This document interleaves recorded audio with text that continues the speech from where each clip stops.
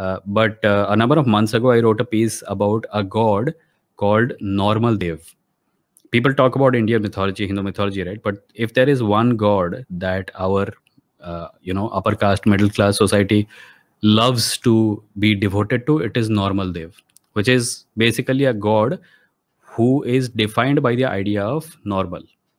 So, what is normal? Normal means doing the things that your neighbors are doing, looking like your neighbor, owning all the things that your neighbor owns, putting your sons in a certain job, putting your daughters into a certain sort of you know good family marriage anyone who goes out of this framework and does something that is you know uh, the best word i can think of is challenging to the uh, status quo is thought of as अरे उससे दूर रहना ये लोग बहुत ये लोग बहुत अलग होते हैं अजीब होते हैं वट यूज टू बी अलग होते हैं अजीब होते हैं few years ago right now is इन्हें मार देना चाहिए।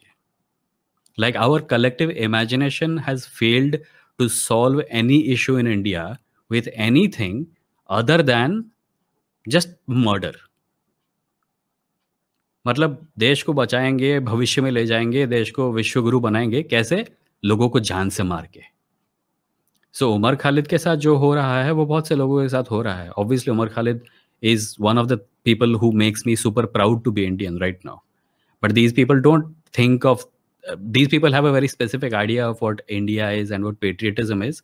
Anyone who puts a foot out of that framework uh, is, according to them, completely. You can either be completely Indian, or you can be, or or you if you if you don't correspond to their definition of what of what India is, which is actually quite an abhorrent definition, a country belonging to people from one religion then if you don't subscribe to that view you belong in jail. So according to many people like this hypocritical thing uh, they would like to be known as modern liberal secular and everything but they don't want to be modern liberal and secular. They just want those labels on top of their face.